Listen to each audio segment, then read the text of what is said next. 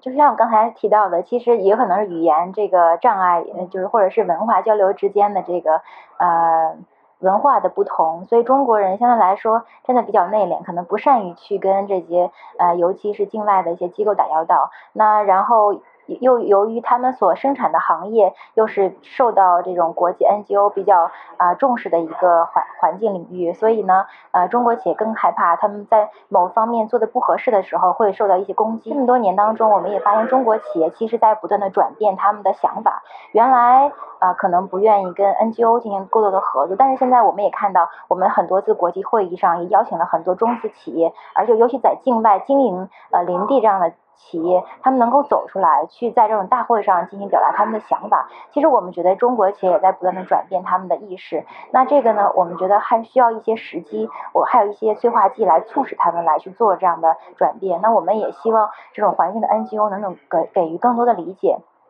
是企业在经营当过程当中，肯定有很多呃，他们没有意识到或者是犯下的一些错误。但是我们希望通过一个正面的方式去促使企业当地的发展。因为我们如果说叫停一个企业，那给当地来说是以对企业来说可能只是暂停，它会有一些经济损失；但对当地来说，它可能也是缺少了一个投资方向。我们希望环境和这个发展能够得到一个很平衡的一个发展，所以我们还是希望这种呃国际的 NGO 能给企业一个良好的环境境。然后也能够从呃就更呃良好的或沟通的角度，或者是从大家呃更有助于发展的角度去探讨一些环境问题。